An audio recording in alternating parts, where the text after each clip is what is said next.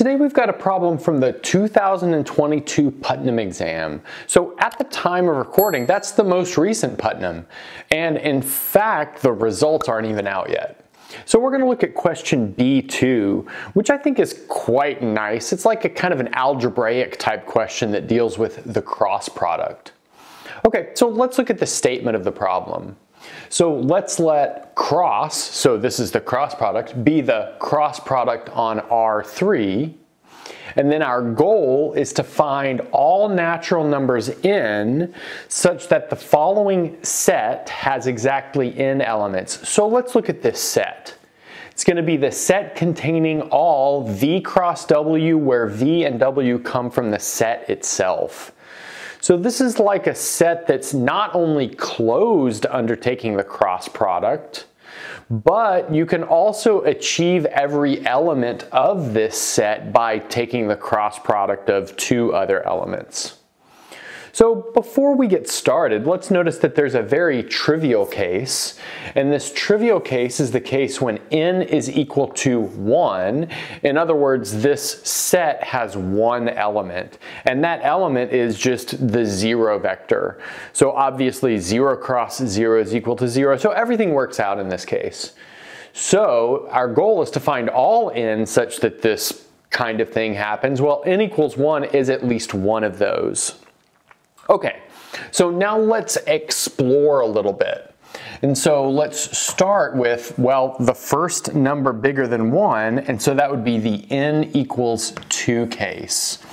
So, like I said, is it possible for there to be a two element set satisfying these rules? So let's suppose that we have S with two elements and our we have an element v which is inside of S. And let's go ahead and take this element v to be not equal to the zero vector. We want it to be not equal to the zero vector, and we know it's possible for it not to be equal to the zero vector, because if there was only the zero vector inside of S, then S would only have one element. Okay, so now let's note the following let's notice that v cross v is equal to the zero vector. So that's a fairly well-known property of the cross product. But anything of the form v cross v, where v comes from S, is an element from S just based on the rules that build S. Okay, well, what do we have? We've got our non-zero vector v inside of S, and then we have this zero vector inside of S. But we're also assuming that S has two elements. So notice that tells us that S has the elements 0 and then this non-zero vector v. But there's a problem with that. And the problem with that is that we can never get to this element v. In other, wor in other words, we can't achieve this element v by our rules over here. Remember that v would need to be the cross product of two other elements from S. And I don't know how careful we need to be about like talking about this, but perhaps we could just look at maybe a multiplication chart of elements in v. So notice 0 and little v are in v, and then we can take the cross product of any of these elements and notice that we only achieve the 0 vector. We cannot achieve the vector v. Now let's explore the n equals 3 case and see what we get out of that. Okay, well, let's maybe start right here with the n equals 3 case. By a similar argument, we know that 0 will need to be in there, and then we'll have to have two non-zero vectors. So let's say s is equal to the 0 vector, v, and w. But notice that v cross w must be equal to one of the elements from this set. So that means it must be equal to 0, v, or w. But since v and w are both non-zero, that means that it cannot be equal to v and it cannot be equal to w. So that means it has to be equal to zero. But that's a big problem because now if we form this cross product multiplication chart with zero v and w again, we'll see that we just get all zeros here, which means just like before, there are some vectors that we cannot achieve. In this case, there are two vectors that we cannot achieve, v and w. So let's write that here. So we can't achieve v or w out of this setup. So that means that n has to be bigger than or equal to 3. Let's also notice that under this setup, we see that v and w are forced to be parallel or collinear, however you want to think about that. Recall that two vectors are parallel if and only if their cross product is equal to zero. So the cross product is like a test for parallelness, whereas the dot product is like a test for perpendicularity. Remember, two things are perpendicular if and only if the dot product is zero. Well, notice that through a similar calculation to what we've seen right here, we see that S must contain non-collinear or non-parallel vectors. So let's write that here. So S must contain non-parallel vectors.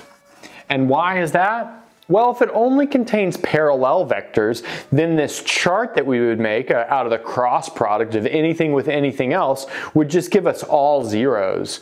So that means we could not achieve any vector except for the zero vector. But that's a problem based off, again, our definition of this set over here. Okay, so I think we've like maybe done a good bit of exploration. We've seen that S has to contain some non-parallel vectors. Now let's jump into a precise solution. So via exploration, we've just shown that the size of S must be bigger than or equal to 4. Also, we verbalized an argument that S must contain non-parallel vectors. So maybe I'll leave it as a bit of a homework exercise to take that verbalized argument and write it down a little bit more carefully. And now we're going to prove the following lemma. That says that every non-zero element of S is a unit vector. Okay, so let's get to it.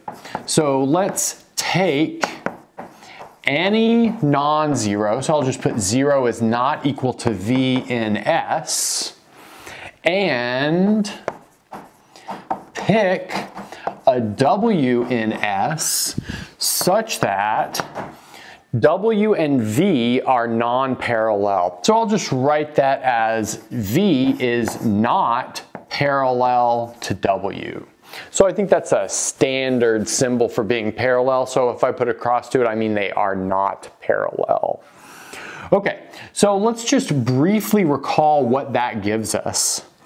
So since they're not parallel, that means that V cross W is not equal to the zero vector. But since our set is closed undertaking cross products, we know that V cross W is a new vector inside of S. As we saw before, zero is always inside of S. Okay, so now what are we gonna do from here? Well, out of these parts, we're going to construct possibly infinitely many vectors in S. Well, you might say, well, our S is only supposed to have finitely many elements. Well, we'll see how to take those potentially infinitely many vectors and really tame them down to finitely many vectors. Okay, so now let's set the length of V equal to some number C. So let's notice that c is strictly bigger than 0. So the length of any vector is bigger than or equal to 0, but since v is not the 0 vector, its length is strictly bigger than 0. Okay, and then we're gonna define a recursive sequence of vectors. So let's define u0 to be equal to v cross w. And then after that, we'll define u sub m plus 1 equal to v cross u sub m. And this is gonna be for m bigger than or equal to 0. So let's look at a couple of examples of the vectors inside of this recursively defined sequence. So notice that u sub 1 will be equal to, let's see, v cross u sub w, but that's going to be v cross v cross w. So like that.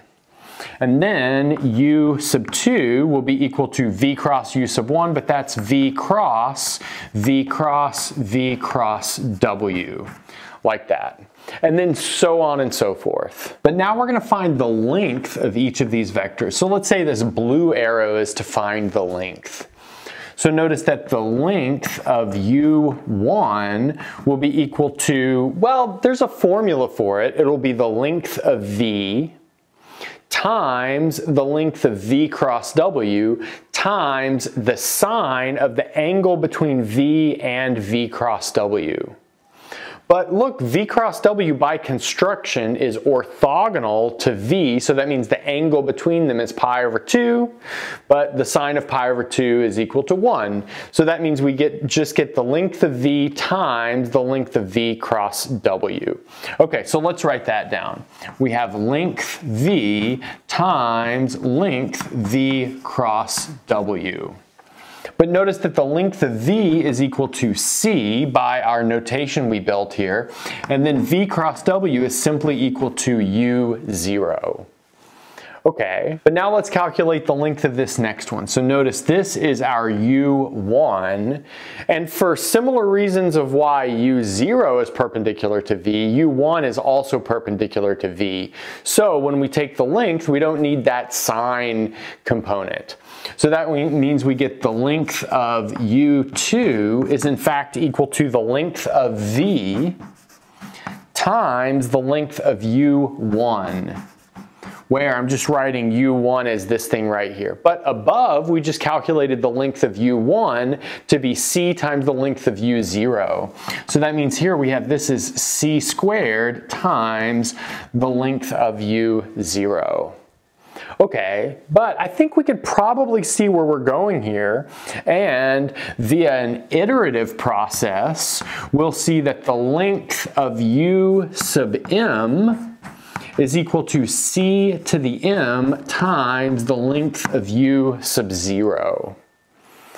Okay, but notice that this u sub m is a potentially infinite list of vectors inside of S. But since S is supposed to have finitely many elements, we know that this potentially infinite list is really only a finite list. So that means that we have um1 equals um2 for some m1 and m2. But then applying the length to both of those, we'll see immediately that we get c to the m1 is equal to c to the m2. And I should point out here that m1 and m2 are non-equal. But since c is bigger than 0, the only number that satisfies this kind of setup for unequal exponents is the number 1. So we have c is equal to 1. But let's notice that's exactly what we wanted to prove. We wanted to show that every non-zero element of S is a unit vector. And what did we do? Well, we took any non-zero element of S, we set its length equal to this number C, and then we just showed that that number c, which was its length, was equal to 1. But having length 1 is exactly the same as being a unit vector. And now armed with the result of this lemma, we're ready to finish it off. So let's suppose we have non-parallel vectors, so non-parallel V and W inside of S. And I guess I should say non-parallel and non-zero. Okay.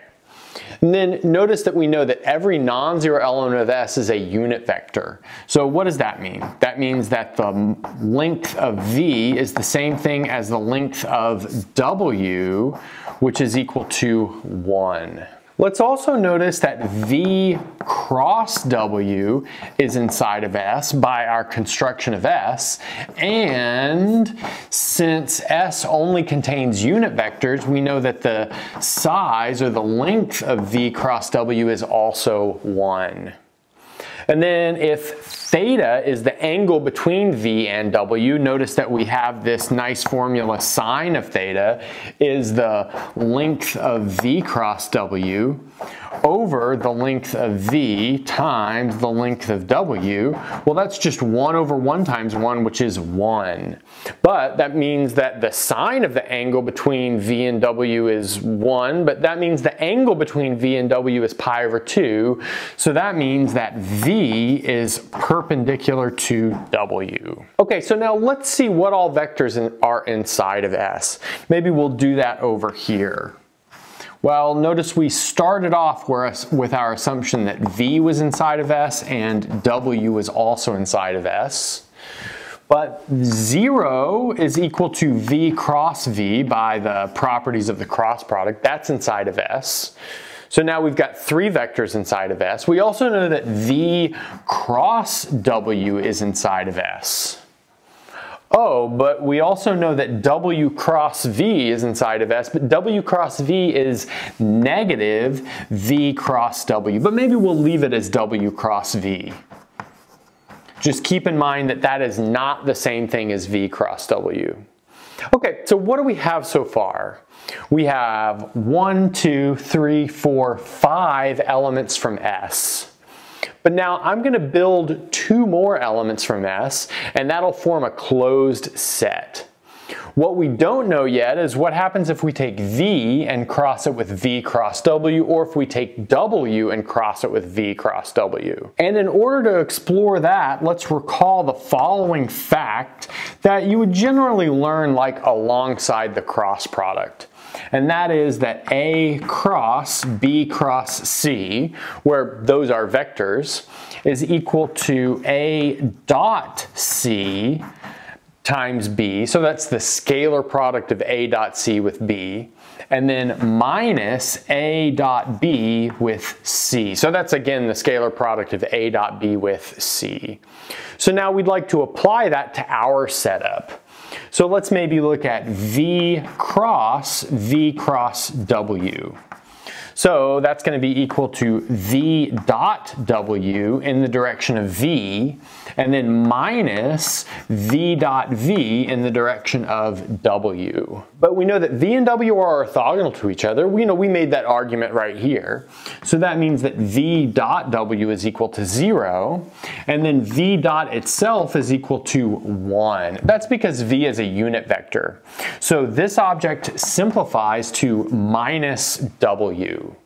So that means over here we can add minus W to the list of things inside of S. But now using this identity again with W cross W cross V, you'll also see that minus V is inside of S. So that gives us at least seven vectors that are inside of S. So notice that from our previous facts, we saw that we must have non-parallel vectors inside of S. And the minute we have non-parallel vectors inside of S, we must have these seven vectors inside of S. But notice that they form some sort of closed algebraic set undertaking the cross product. So that tells us that n equals 7 is definitely a possibility. So nothing lower than 7 except for 1 will work. And that's because once we get these two vectors in here, we must have all 7 of those vectors in there. Then what about anything more than 7?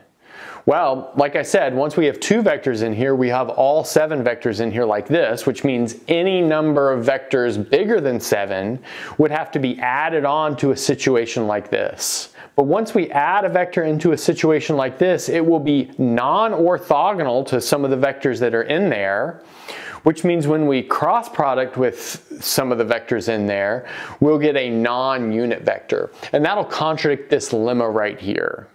So that tells us that there's no number bigger than 7 that works out here. So in the end, our possible values of n are only 1 and 7. So previously I did lots of videos on the channel where we solved Putnam problems. There should be one on the screen right now if you'd like to check it out. And that's a good place to stop. Thanks for watching and sticking around until the end of the video. And since you're here, don't forget to gently press that like button, subscribe, ring the bell, and select all notifications to never miss a video. If you want to get your name in the credits like you see here, access the live seminar series, review videos before release, and more, go to patreon.com slash michaelpennmath and become a Patreon member today. If you want full ad-free course content, subscribe to my second channel, Math Major. I've got courses on linear algebra, complex analysis, and proofwriting, among several others. And that's everything. Bye.